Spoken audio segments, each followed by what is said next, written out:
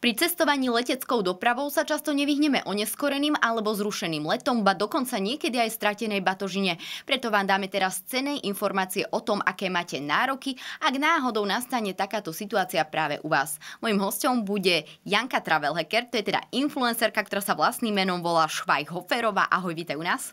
Ahoj, a veľmi chválim za super výslovnosť. Ďakujem, na prvýkrát. Takže podľa tvojho toho prvého, čo povieme teda travel hacker, cestovanie, hackovanie nejaké a tak ďalej. Takže je nám jasné, že budeš teda cestovať. Tak povedz možno, koľko sa tejto záľube venuješ, aby potom ľudia vedeli, že vlastne z koľkých rokov čerpáš ty inšpirácie a skúsenosti. Ono to už bude od roku 2014, to znamená, že 10 rokov. Ani aby som sama nepovedala. A ja sa venujem tomu, že dávam ľuďom, alebo snažím sa dávať praktické typy, ako oni sami môžu cestovať. Takže z toho veľkého koláča zvaného cestovanie som si práve vybrala to, že dávam ľuďom rady, ako oni môžu cestovať že si si ich nechcela nechať tak pre seba. To je pekné. Že ja. si nepovieš, že nikomu nedám vedieť, že aby som len ja mala Mňa by to potom ani nebavilo cestovať. Aha.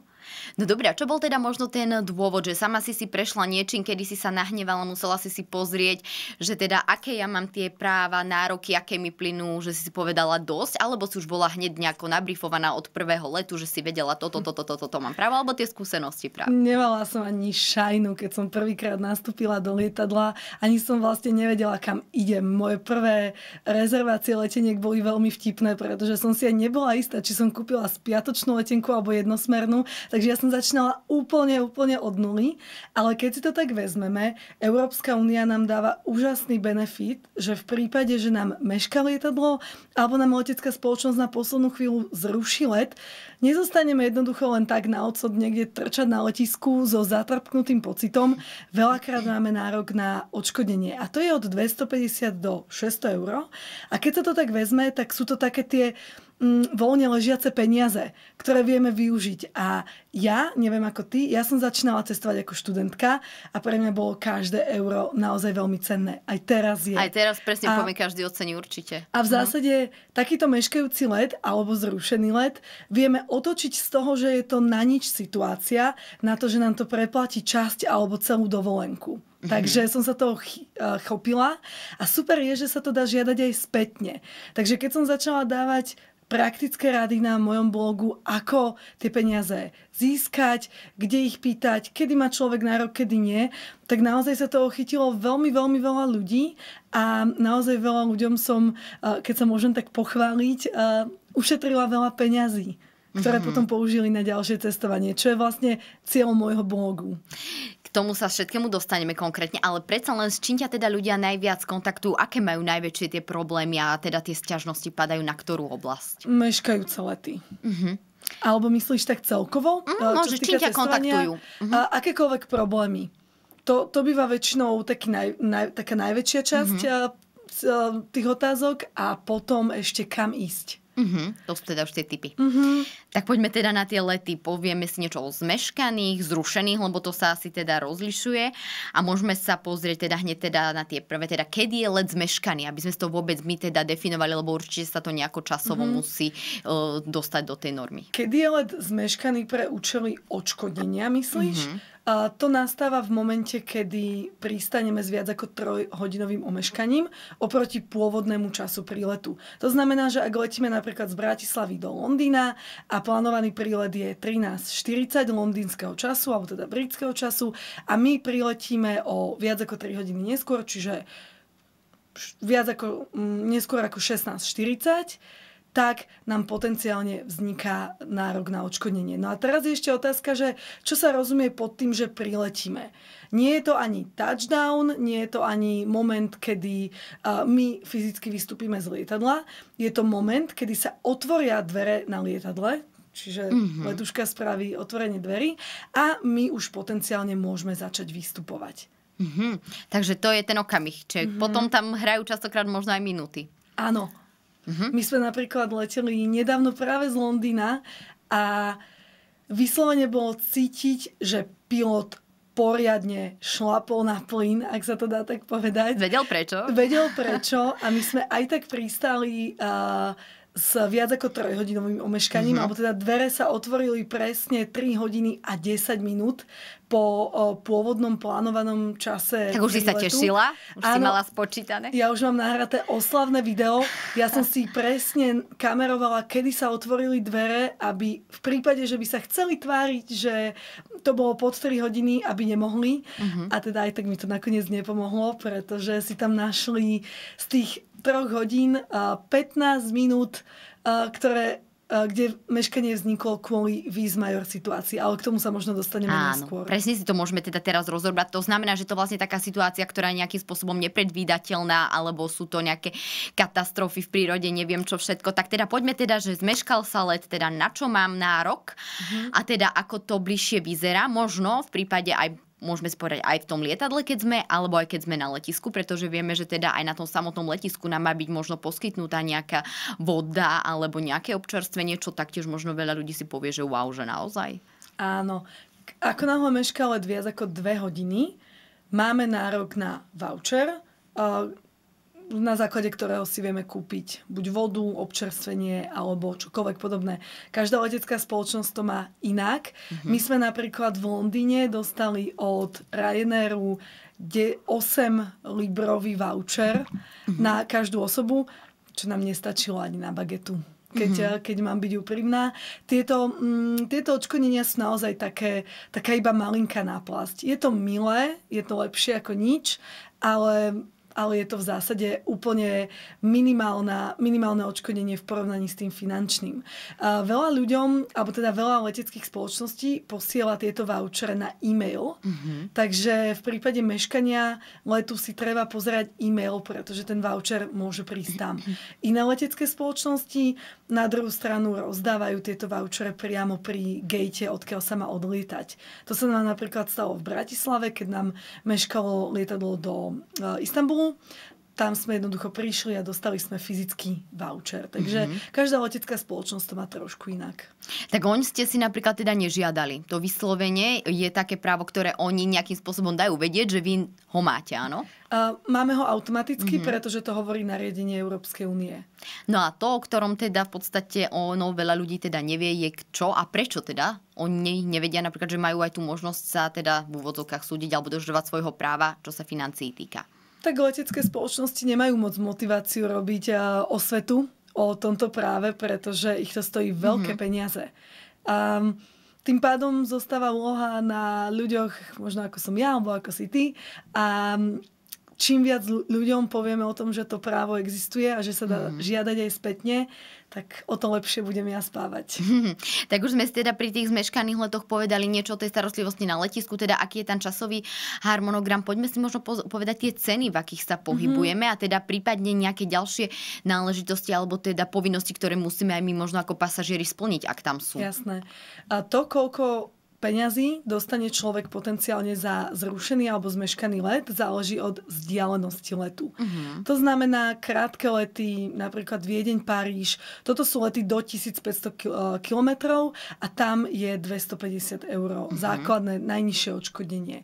Ako náhle je to dlhší let na do 2500 km, tak tam už je nárok 400 eur a ako náhle je to ešte dlhší let, tam je nárok 600 eur. Mm-hmm. Treba povedať, že ako náhle je to prestupný let, to znamená, že letíme z Viedne s prestupom vo Frankfurte do New Yorku, tak sa ráta celá tá trasa, ktorú máme kúpenú, pretože my sme si kúpili let z Viedne do New Yorku mm-hmm. a ten prestup je tam len taká technická záležitosť. Aha. Takže ako náhle... Čo urobíme, keď nám teda zrušia let v strede? Prestupná stanica. A letecká spoločnosť nám musí dať náhradný mm-hmm. let. Tam je dôležité, ako náhle priletíme s viac ako 3-hodinovým mm-hmm. omeškaním, máme nárok na odškodnenie, ktoré sa ale ráta z dĺžky letu z Viedne do New Yorku. Mm-hmm. Čiže 600 eur. Napriek tomu, že by nám meškal iba ten let z Viedne do Frankfurtu. Mhm. Následkom ktorého nestihneme let mm-hmm. do o, New Yorku. Že sa ráta jednoducho tá výsledná destinácia. Áno, presne. Žiada sa priamo na webe leteckej spoločnosti, ktorá let prevádzkovala. Takže písom nemusíme Áno, žiadať? letecké spoločnosti na to majú formuláre. Je veľa ľudí, ktorí sú z tohto celého procesu zmetení, nevedia, či majú nárok, či nemajú nárok a čo všetko tam treba. Um, takí ľudia si to buď môžu naštudovať, alebo sú spoločnosti, ktoré uh, pomáhajú vymôcť tieto nároky za ľudí. Oni si potom berú percentá. Väčšinou je to 25-30 35, stretla som sa už aj so 40 percentami. Výhodou je, že ak je to človek, ktorý si to v živote sám nepožiada alebo naozaj nevie, tak potom je lepšie dostať 70% ako dostať 0%. Mm-hmm. Naozaj niektoré letecké spoločnosti majú takú povesť, že sú veľmi mm, nekamarátske. A môžem povedať, je konkrétne? Je to v poriadku? Mám dve také, ktoré, ktoré robia problémy. Už sme spomínali, no tak povedz. Um, najproblematickejšie bývajú väčšinou Vizer a Iberia. Uh-huh. Tieto dve letecké spoločnosti jednoducho nepustia, ak nemusia. Uh-huh. A práve, práve v takýchto prípadoch je niekedy fajn použiť aj tie spoločnosti, ale v zásade platí, že každú uh, tú kompenzáciu si človek vie vyžiadať sám. Je veľmi dôležité mať boarding pass pri uh-huh. takomto prípade. Väčšinou, keď Dôkaz, letíme... že ste leteli vy. Áno, uh, že sme naozaj že prišli do toho uh-huh. lietadla a že sme leteli, pretože boarding pass sa vygeneruje až ako náhle spravíme check-in. A to je vlastne to potvrdenie, že teda naozaj sme v tom lietadle boli. A teda ešte letecká spoločnosť nás má potom tak zafajknutých, že áno, mm-hmm. od, že prišli sme na ten gate a odleteli sme. Bez tohto uh, je veľký problém mať, uh, mať odškodnenie alebo žiadať od neho. To je dôležité hlavne v prípade, že letecká spoločnosť dá fyzicky boarding pass a ten ľudia väčšinou zahodia. Takže treba si ho odfotiť. Mm-hmm. Tak sme teda vlastne povedali, a spomíname nejaké tie spoločnosti, takže do veľkej miery dá sa povedať, že záleží aj ten výber tej konkrétnej vlastne od toho, či sa nám preplatí aj nárok, ktorý my máme. Dá sa povedať, že nie je to vymahateľné potom vlastne nejakou súdnou cestou alebo tak? Nie, je to vymahateľné a nad všetkými týmito leteckými spoločnosťami stojí nariadenie Európskej únie, ktoré jasne hovorí, kedy nárok máš, kedy nárok nemáš. Avšak niektoré letecké spoločnosti to zaplatia takto. Napríklad Austrian Airlines je tým veľmi známy, mm-hmm. že jednoducho, ak má človek nárok, tak zaplatí. A potom sú spoločnosti, ktoré to spravia takto a dúfajú, že v procese to človek vzdá. Aj prestane ho to baviť. A veľa ľudí to naozaj vzdá. Mm-hmm. Takže, um, takže ten nárok tam je. Ešte mi napadla veľmi praktická informácia, keď už si spomenula, že či si treba vyberať leteckú spoločnosť podľa toho, uh, či môžeš dostať nárok. Nárok máš iba vtedy, ak odlietáš z Európskej únie, k tomuto som sa chcela dostať, lebo to si hovorila, takže ano. vlastne kam patrí tá... Tak, presne. Čiže musíš odlietať z Európskej únie. Vtedy je úplne jedno, akou leteckou spoločnosťou mm-hmm. letíš. Ako náhle odlietáš z Európskej únie, nárok ti vzniká ak splníš všetky tie ďalšie podmienky. Avšak, ak napríklad odlietáš z New Yorku alebo z akýkoľvek krajiny, ktorá je mimo Európskej únie, tak máš nárok na túto európsku kompenzáciu, ak ju tak môžem mm-hmm. nazvať, iba v prípade, že letíš leteckou spoločnosťou, ktorá má sídlo, sídlo v Európskej únii. Mm-hmm. To znamená Ryanair, Wizz Austrian Airlines, Swiss, úplne v pohode. Ale Emirates, Qatar Airlines, Singapore Airlines, e, e. A tam je aký potom spôsob vymáhať? Vidíš, určite veľa ľudí aj s nimi lieta nejakým spôsobom žiadny. Majú Žiadny. to ošetrené, takže tam sa vlastne nedá. Uh, my máme túto možnosť iba vďaka Európskej únii. Mm-hmm. Uh, nie je to štandardom. Mimo Európskej únie túto možnosť veľmi nepoznajú. Mm-hmm. Takže ak ti meška lietadlo, tak jednoducho naozaj ti zostanú len oči preplač a môžeš ísť akorát tak do VIP saloniku. Mm-hmm. A to je celé, a ešte to si zaplatíš. Takže my máme naozaj v Európskej únii veľkú výhodu a naozaj, ak splníme zo pár podmienok, to je konkrétne toto, čo som mhm. spomínala, mm-hmm. že teda... Boarding pass musíme uh, mať? Nie, myslela som to, že letíme z Európskej únie, mhm. alebo prilítame do Európskej únie s leteckou spoločnosťou, ktorá má sídlo v Európskej únii. Následne priletíme s viac ako trojhodinovým omeškaním oproti pôvodnému času príletu, alebo nám letecká spoločnosť zruší let menej ako 14 dní pred odletom. Tam vzniká úplne rovnaké právo. A ešte nesmie ísť o situáciu vis major. Mhm. Ako náhle splníme tieto podmienky, a ono sa to stáva naozaj často, tak vtedy máme nárok na odškodnenie. Či tam tá spoločnosť, presne ako si to aj vtedy povedala, zarába veľmi dobré peniaze na týchto vlastne nárokoch, to, o ktorých ani ľudia nevedia. Už sme niečo hovorili o tých zrušených letoch. Je tam niečo, čo sme možno nepovedali, lebo vlastne tá cena, ak som dobre pochopila, či je zrušený alebo je zmeškaný, vlastne je tam paušálne daná e, z hľadiska toho času. Áno. Teraz si povedala potom informáciu teda o tých zrušených, že vlastne, o, že, že to tiež, no neviem tú vetu predtým, ale že či si niečo ešte chcela k tomu doplniť, či sme už vlastne vyčerpali všetko, čo sa aj Nie. tých zrušených týka, lebo tam sme sa tak akoby lízli to spolu s tými zmeškanými. Ja budem mať vždy veľa vecí na doplnenie, ale táto jedna je dôležitá.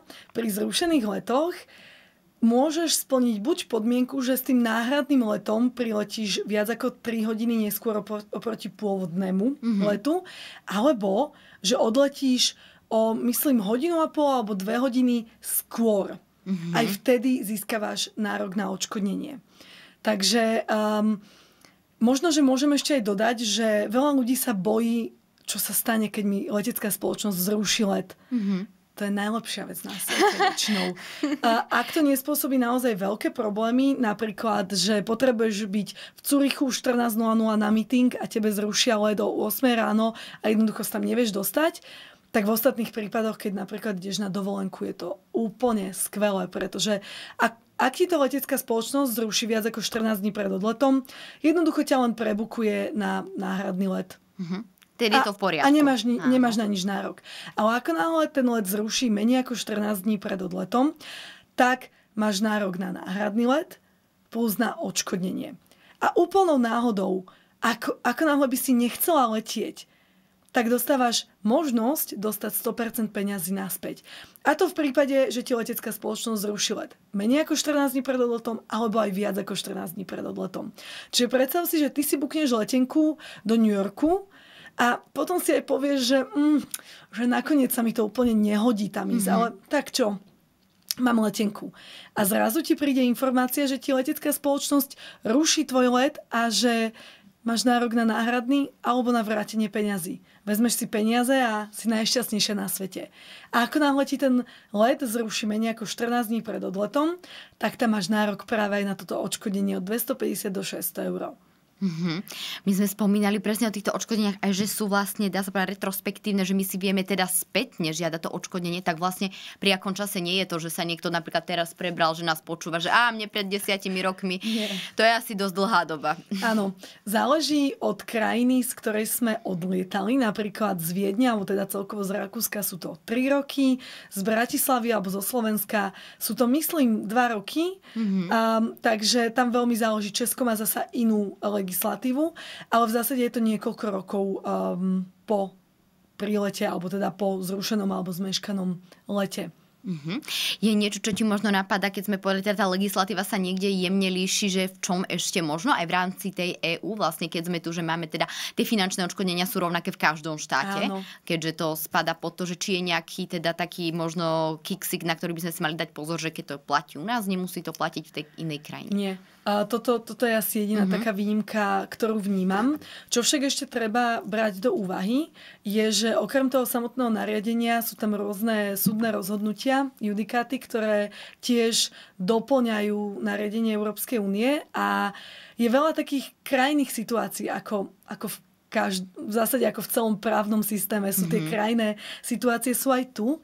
A je veľa rozhodnutí, ktoré hovoria, čo už je Vizmajor a čo ešte nie je Vizmajor. Napríklad je to veľmi zaujímavé pri štrajkoch. Mm-hmm. Veľmi záleží, kto štrajkuje. Ak štrajkujú zamestnanci leteckej spoločnosti, kto, um, ktorou máš letieť a ktor, ktorej let meškal na základe toho, že, Že štrajkujú jej, za, Mhm. uh, jej zamestnanci, myslíš, že máš nárok na odškodnenie? No alebo nie? nemáš. No, no ako Máš. podľa mňa mám, ale z ich Máš. hľadiska nemám. Nie, no máš. Takže mám. Máš, Mhm. pretože oni mohli zabrániť ich zamestnancom, aby štrajkovali. Ale ako náhle štrajkuje napríklad mhm. letecký personál, um, myslím letiskový personál, uh-huh. pardon, alebo uh, napríklad teraz sa stalo, že štrajkovali takí tí navigátori uh, v tej takej veži. Ježiš, to je, to je veľmi odborné, čo som teraz povedala, ale uh, jednoducho... Nevadí, jednoducho sa to netýkalo bezprostredne Áno, tej spoločnosti. Takže tam uh-huh. nárok Nie nemáš. A, a toto sa aj v praxi deje, že mnoho ľudí, keď im mešká um, lietadlo, tak si prejdú rôznymi štádiami. Najprv sú úplne beznadejne naštvaní, potom začnú rozmýšľať, že ah, počula som, že mhm. Janka hovorila, že možno budeme mať nárok na odškodnenie, tak sa tak povedia, že no dobre, tak meškajme radšej viac, nech, nech, tam, nech tam ten nárok na odškodnenie je, ale v praxi sa môže stať, že ti môže meškať lietadlo aj 8 hodín a nárok mať nebudeš.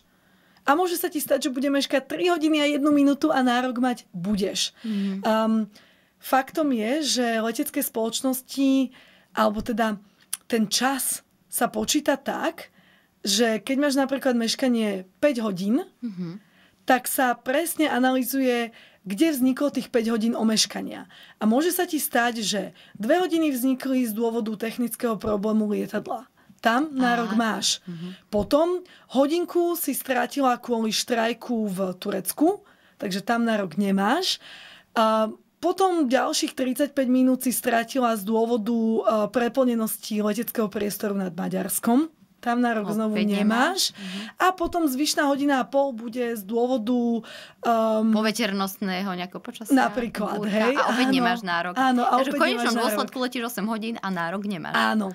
Čiže uh-huh. naozaj leto je v tomto špecifické, že je toľko okolností, kedy uh, lietadla meškajú, že, že to vyzerá, že máš obrovský nárok na odškodnenie, ale zároveň rovnako ako sa zvýšil ten počet meškajúcich letov, tak sa zvýšil aj počet tých vis major situácií. Mm-hmm. A v praxi uh, je veľká šanca, že máš nárok na odškodnenie, ale je rovnako mimo sezóny aj počas sezóny a jednoducho len v lete naozaj, a toto leto, ja mám pocit, že toto leto je naozaj špeciálne, že naozaj meška toľko lietadiel, Uh, že to som naozaj posledné roky ešte nevidela.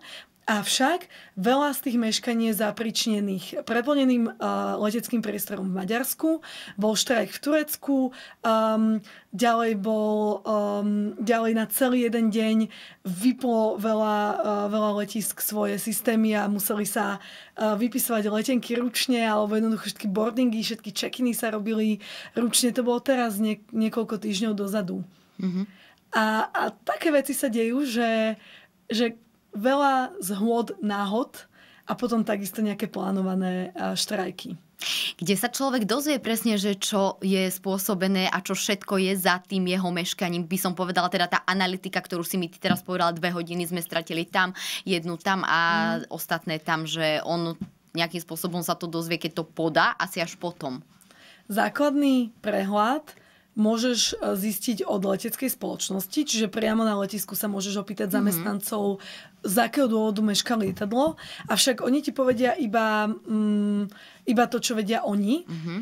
Um, toto, toto rátanie, ktoré som ti mm-hmm. povedala, to väčšinou práve analizujú tie spoločnosti, ktoré si môžu ľudia najať, aby im vymohli mm-hmm. nároky.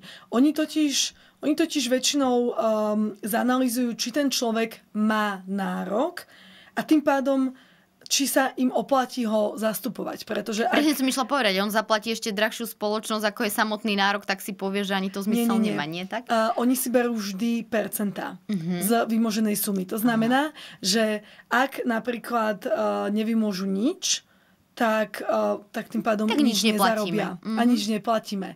Takže je v ich záujme si zanalizovať, či ten človek bude mať nárok mm-hmm. a potom na základe toho požiadajú, na, požiadajú buď u leteckej spoločnosti, alebo potom pri zložitejších prípadoch to dávajú na súd. Mm-hmm. Ešte sa môže stať taká kuriózna situácia, ktorá sa stala aj tebe, že teda letí, lietadlo ťa nezobralo, lebo si sa nezmestila a teda oni predali viac tých lístkov, ako bolo v skutočnosti tých miest. Ako sa rieši takáto situácia? A to sa volá tzv. overbooking a letecká spoločnosť, každá letecká spoločnosť na každý let predá viac miest, ako je fyzicky mm-hmm. možných. Pretože je nejaká štatistická uh, odchylka sú ľudia, ktorí jednoducho vždy neprídu. Mm-hmm. No a ako náhle sa stane, že zrovna prídu, tak zrazu je na letisku 350 ľudí a miest iba 340. A tým pádom potrebuje 10 ľudí zostať na letisku a musia sa dopraviť nejak inak. Avšak rovnako ako pri meškajúcom lete, toto je super správa. Pretože ty máš nárok buď, že ti vrátia peniaze, alebo dostaneš náhradný let a plus ešte dostaneš odškodnenie. Ak sa chceš uistiť, že sa ti toto nestane, pretože máš z toho hlavobol už teraz, stačí, keď si spravíš dostatočne vopred online check-in. Mm-hmm. Pretože väčšinou tí ľudia, ktorí musia zostať... Takto. Väčšinou sa nájdú ľudia, ktorí veľmi dobrovoľne zostanú na tom letisku a zoberú si náhradný let a odškodnenie. Bolo to aj tvoj prípad? Áno, jasné. Ja som bežala. My, my sme... Uh, my sme reálne mali letieť do New Yorku a mali sme let Vieden, Zurich, Zurich, New York a ten let do Zurichu bol absolútne preplnený. A čo sme dostali ako náhradu, bol priamy let z Viedne do New Yorku. Wow, si vyhrala. Ktorým sme prišli ešte o dve hodiny skôr a ešte do New Yorku. A ešte sme každý dostali 250 eur. To bola dovolenka. Takže to bolo super. A, ale ak by tam napríklad títo dobrovoľníci neboli, Uh-huh. Vy tak... ste sa museli dohodnúť aj koľko, napríklad tých 10 pomyselných, čo sme sa teraz rozprávali, alebo potom vyberú? Lebo Pr- nie každý určite by Prvý, ostal... čo prišli. Prvý, čo prišli. Hej.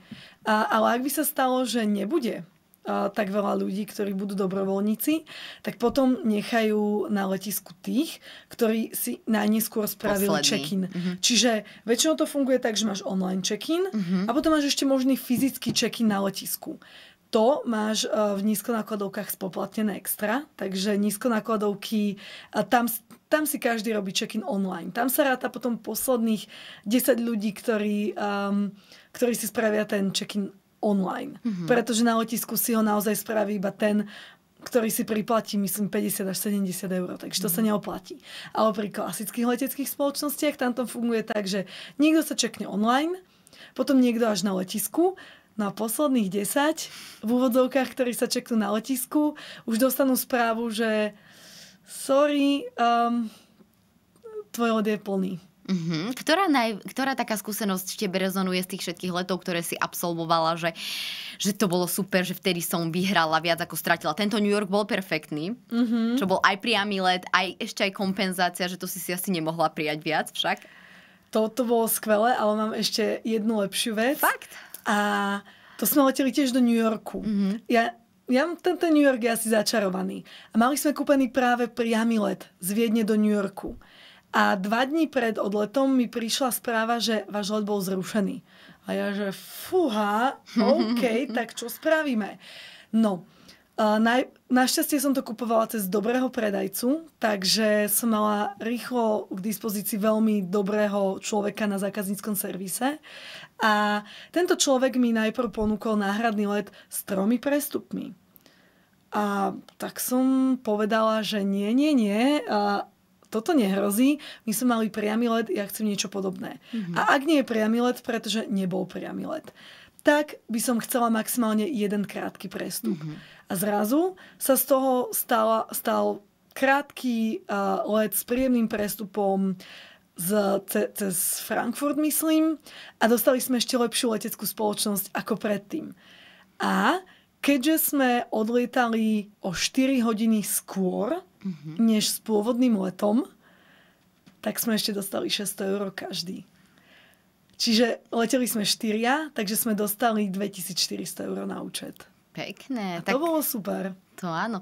Takže ty keď ideš takto cestovať, tak len tak sa modlíš, že by to meškali, alebo tak tie lety. Však ideš s tým um, na tie výlety? Že si povieš, keby tak meškal? Skôr si hovorím, že keď už, tak poriadne.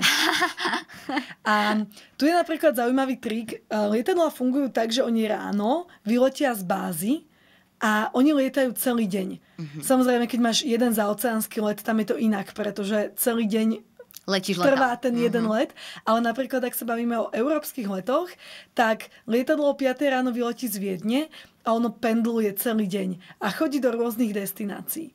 Takže je najväčšia šanca, keď chceš maximalizovať možnosť, že ti bude meškať let, letieť večer. Mm-hmm. Takže máme ešte aj tip teda, keď by ste chceli, uvidíte, či by to vyšlo. No a k tomuto všetkému patrí taktiež aj tá batožina, na ktorú sa čaká, keď už priletíme netrpezlivo niekam, tak tam sa teda rozlišuje pojem tá stratená a dočasne stratená. Áno. Takže to je veľmi dôležité. Tak možno povedzme ľuďom, keď si možno myslia, že mali stratenú batožinu, že vlastne ona nemusela byť stratená. Tam je taktiež ten časový interval, ktorý je podstatné Áno. zohľadniť. Bavíme sa o podpalubnej batožine a teda s podpalubnou batožinou sa môžu stať tri veci. Môže sa poškodiť, môže sa dočasne stratiť, to znamená, že ako náhle je ako náhle nepríde spolu s tebou na, na letisko a zrazu prídeš po batožinu, ona tam nie je, to znamená, že je dočasne strátená. Ako náhle, me, ako náhle je strátená viac ako 21 dní, tak vtedy je finálne strátená. A vtedy máme nárok. Uh, na odškodnenie. Máme, máme tam rôzne nároky. Uh-huh. Ak, nám, uh, ak nám letecká spoločnosť poškodí batožinu, tak uh, čo sa týka poškodenia, nestačí škrabanec treba také poškodenie, ktoré znemožňuje kufru aby, Uži, u, aby, aby bol, kufo, aby bol uh-huh. kufrom, hej. Čiže napríklad je zlomený, alebo je pokazená ručka a podobne. Koliesko mám odtrhnuté. Áno, áno. Uh-huh. je dobré povedať, že vždy za toto zodpovedá let, letecká spoločnosť. Uh-huh. Čiže aj keby oni tvrdili, že to pokazil nejaký letiskový personál, to vôbec nie je tvoja starosť. Ty vymáhaš od leteckej spoločnosti. Vtedy máš nárok na náhradný kufor alebo máš nárok na preplatenie náhradného kufra, ak ti ho poškodia. Teraz, ak ti ho stratia, dočasne stratia, prepač, um, tam máš nárok na preplatenie nejakých základných vecí. Avšak nie je nikde úplne presne stanovené, na čo máš nárok, a čo ti tá letecká spoločnosť preplatí. A je to skôr na zvážení leteckej spoločnosti. Čiže ak sa ti naozaj stane, že ti zrazu nepríde podpalubná batožina a ty potrebuješ spodné prádlo, potrebuješ nejakú kozmetiku, potrebuješ nejaké základné oblečenie, nákup si to a nechaj si vločky. A potom, ako náhle sa batožina nájde, tak môžeš vyplniť claim, alebo teda formulár na webe leteckej spoločnosti a tá letecká spoločnosť posúdi, čo z toho ti preplatí, mm-hmm. čo z toho nie. Um, z mojej skúsenosti, ak sú to rozumné veci, tak naozaj potom, potrebné. Tak, tak potom mm-hmm. by s tým nemal byť problém. Ale naozaj každá letecká spoločnosť to má inak. Inak to budú mať nízkonákladovky, inak to budú mať klasické letecké spoločnosti, ktorým záleží na tých na ich zákazníkoch. Mm-hmm. Takže um, je vo všeobecnosti dané, že sa prepláca maximálne 1300 eur, mm-hmm. avšak uh, väčšinou sú to skôr desiatky eur alebo, alebo teda stovky, ktoré letecká spoločnosť preplatí. No a ak sa tá tvoja batožina naozaj nenájde, že proste strátená kompletne, tak vtedy máš nárok na preplatenie batožiny a obsahu batožiny. A tam uh, potom musíš dokazovať, čo bolo vo vnútri a teda dávať bločky. Čo môže byť celkom ťažké, celkom mhm. ťažké, pretože samozrejme si nenechávaš zo všetkého bločky, ale teda takto to funguje. Okrem toho ti v týchto situáciách veľa môže pomôcť aj, cestovn- aj tvoje cestovné poistenie. To určite odporúčam mať, pretože stojí pár eur a nikdy nevieš, kde ho použiješ. A stratená batožina, aj dočasne stratená batožina sa stiahuje, sa, sa stiahuje prípadu, aj k mhm. cestovnému poisteniu. Takže, takže v zásade môžeš si niečo žiadať od leteckej spoločnosti a niečo od tvojej poisťovne. A to je super. Stratila sa ti niekedy batožina? Alebo že aj navždy? Alebo že aj na niekoľko dní, aké sa podarilo vy, vymôcť tebe teda tie peniaze? Bola si spokojná? Poviem ti tajomstvo. Povedz. Ja nikdy nechodím s podpalubnou batožinkou, pretože je to blbosť. Fakt? Takže na istotu to, čo máš len pri sebe? Batôštek naozaj je taký trend, že letecké spoločnosti stále viac spoplatňujú ľudí, ktorí chcú preniesť veľa batožiny. A kým ešte 5-10 rokov dozadu bolo v klasických leteckých spoločnostiach úplne normálne mať klasický príručný kufrík mm-hmm. a jednu podpalubnú batožinu v základnej cene. Dnes to tak už nie je. Naozaj málo ktorá letecká spoločnosť má v základnej cene letenky aj podpalubnú batožinu a tým pádom si musíš priplácať. A ja si tie peniaze viem naozaj predstaviť, mm-hmm. investovať niekde inde. Na, a zároveň je to oveľa oslobodzujúcejšie cestovať s menej vecami a naozaj, ak nemáš detí, alebo nejdeš na nejakú extrémnu turistiku, kde potrebuješ veľkú výbavu, alebo nejdeš preč na 3 čtvrte roka, dá sa cestovať s príručnou batožinou. A vieme sa možno vyjadriť ešte, kým skončíme aj k cenostiam, že čo keď má niekto nejakú cenosť, ktorú mu stratia, či už bola v tom kufri, alebo nejakým spôsobom jednoducho o ňu príde? Dobrá otázka. Ja som si dosť istá, že letecké spoločnosti mm-hmm. budú mať nejakú formulku, že nezodpovedajú mm-hmm. za cennosti alebo za nejakú vec, nad nejakú hodnotu, ale musím povedať, že som sa na týmto nikdy nezamyslela. Mm-hmm. Možno je to dobrá otázka na zistenie, pretože myslím si, že by to nemalo tak fungovať, že, že budeš nosiť diamanty v podpalubnej batožine a dúfať, že nech mi ich proste raz stratia a, a potom ti ich raz stratia a letecká spoločnosti preplatí 50 tisíc eur. Myslím, že tam bude nejaká rovnováha. Mm-hmm ale, ale neviem presne, uh, ako to je a či je jedna úprava, ktorá platí pre všetkých, alebo či má každá letecká spoločnosť tú svoju. Úplne logicky, ja si každú cennosť dávam do príručnej batožiny a nikdy by som si nedala nič veľmi cenné do podpalubnej batožiny, mm-hmm. ak by som ju mala. Mm-hmm. Už si povedala, kedy ťa potešil zážitok, kedy si teda získala na tom svojom vlastne pre niekoho neúspechu v úvodzovkách, teda meškanom lete, alebo tak je niečo práve, čo ťa strašne neteší a zase na to naopak nezabudneš, lebo sa ti to nepodarilo presne ako napríklad, keď to bolo s tými Vizmajor uh, situáciami z Londýna, alebo do Londýna, neviem. Tá ma vôbec nepotešila, ale mm-hmm. tam mhm. bolo iba 250 eur, takže to Našlo bolo sa ešte aj vyšší highlight? Áno, áno, prišla som aj o 600 eur pri ďalšom lete, kde, kde sme síce meškali, a meškali sme viac ako 3 hodiny. A však znovu tam bol nejaký výzmajor a, a v končnom dôsledku sme nemali tým pádom nárok na odškodnenie. Mm-hmm. A to bol, to bol inak let, ktorý sme žiadali myslím, že nejakých 700 dní spätne a mm-hmm. tesne to splňalo tie, hranicu, tú, tú hranicu dvoch rokov mm-hmm. vtedy.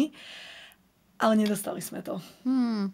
Tak nám prezrať na záver ešte možno, kam sa teraz najbližšie chystáš. Či budeš dúfať, že bude len meškať, nebude, kam ideš? Do Arménska mm-hmm. a potom následne do Gruzínska. Ale keďže z Viedne sa letí 22.15 a prilíta sa do Arménska o 4 na 4 ráno, tak ja naozaj dúfam, že ten let pôjde na čas. Takže vynimočne, teda dúfajme, že tak bude. Ďakujem za tvoje cené rady, skúsenosti a nejaké tie nápady, možno aj typy, ktoré si divákom dala. A teda prajem veľa úspešných kilometrov vo vzduchu. Ďakujem krásne.